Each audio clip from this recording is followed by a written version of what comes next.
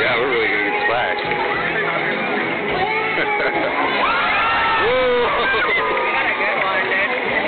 Here it comes.